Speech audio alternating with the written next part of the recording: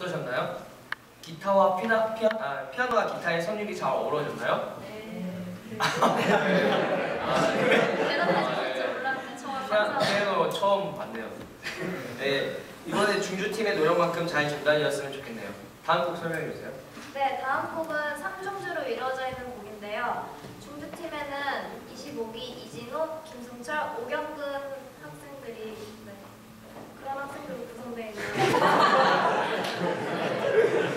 그런 떨려서 네, 구성되어 있습니다. 첫 번째 곡으로는 마즈루카라는 곡인데요. 이 곡은 세 박자 양식의 폴란드 고유 무곡으로 특징은 제2박, 제3박에 강한 어센트가 붙는 경우가 많고 리듬은 제1박이 세분하게 되는 경우가 많습니다.